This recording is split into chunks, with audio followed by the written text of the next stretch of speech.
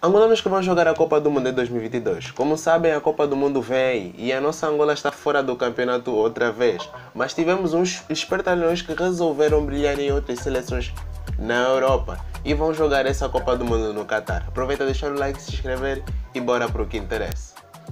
Eduardo Camavinga. Este aqui já perdemos há muito tempo, embora Camavinga tenha nascido em um campo de refugiados em Cabinda, com condições muito difíceis de se viver. E foi na fé de Deus que a família Camavinga foi para a França, seleção que o jogador joga hoje em dia. E a saída da família Camavinga de Angola foi uma vitória imensa.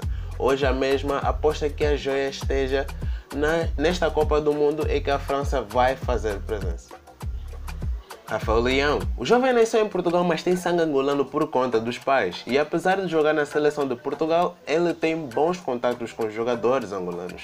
E como ele é a joia que restou no futebol português, já está com passe totalmente garantido para jogar a primeira Copa do Mundo da carreira aos 23 anos de idade e sendo considerado um dos melhores jovens do futebol europeu. David do Carmo é um jovem defesa central que joga no Braga e se estreia agora pela seleção portuguesa. David é só mais um dos poucos que seguiu os conselhos dos pais para atuar em seleções estrangeiras, mesmo tendo origens africanas. Aos 22 anos já tem tudo para estrear pelas esquinas, sendo o defesa português mais cobiçado por times da Europa Ocidental. Até novembro esperaremos pelo que acontecerá nas convocatórias.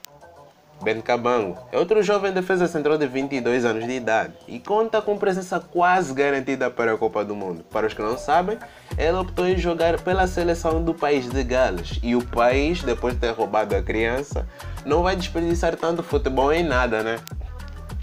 Castelo Luqueba. Outro caçolo nesse futebol francês é o Castelo Luqueba, que tem 19 anos e é filho de pais angolanos. E apesar de nascer na França, ele joga no Olympique de Lyon e ainda por cima é titular por lá. E apesar de ainda ter chances com a camisa dos Palancas Negras, possivelmente vai jogar essa Copa do Mundo se a França se apressar em levar o rapaz.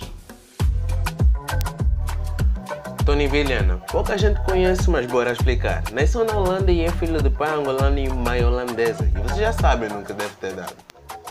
Tony joga pela seleção holandesa junto de Memphis Depay e muitos outros. E como sabem, a Holanda já se apurou para a Copa do Mundo e Tony ainda está a jogar bem na Europa. E o que adianta é só esperar por outubro de 2022, onde surgem as famosas convocatórias. Esperaremos que Tony apareça por lá. E apesar dessas promessas estarem muito próximas para a Copa do Mundo, só vale ressaltar que só quatro dos cinco citados é que nasceram fora. Apenas o Camavinga é que nasceu aqui em Angola. Mas é isso, malta. Não esqueçam de se inscrever no canal e também comentem aqui embaixo uh, o que é que vocês acham sobre a situação de várias promessas estarem a jogar agora por seleções da Europa. E é isso, malta. E vemo-nos até a próxima. Peace.